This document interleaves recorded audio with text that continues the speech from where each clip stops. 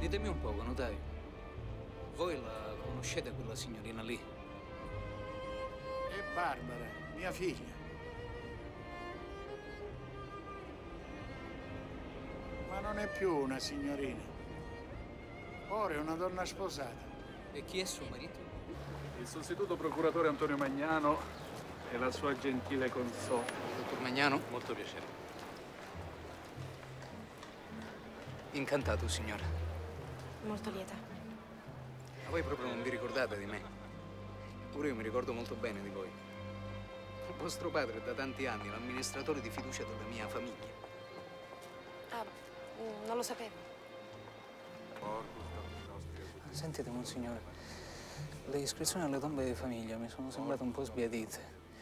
Se poteste occuparvi voi di farle restaurare, ve ne sarei davvero grato.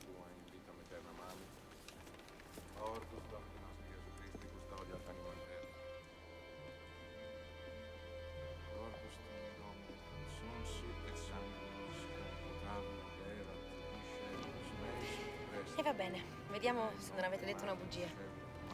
Che cosa vi ricordate esattamente? Allora,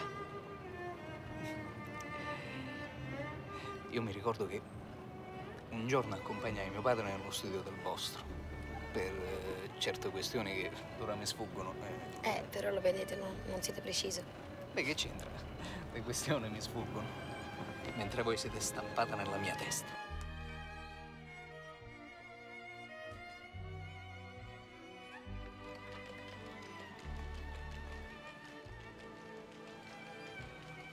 Grazie, signor Duca. No, niente Duca, solamente Fabrizio. Barbara, Barbara, vi prego, aspettatemi. Barbara.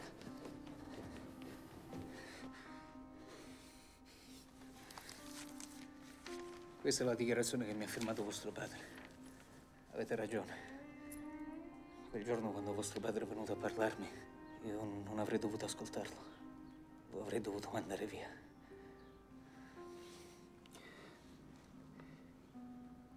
Ma i sentimenti che provo per voi hanno impedito di farlo.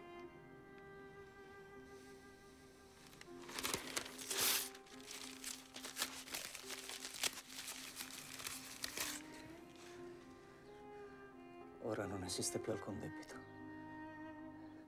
Spero che almeno questo basti a non farvi più subire pressioni di alcun tipo.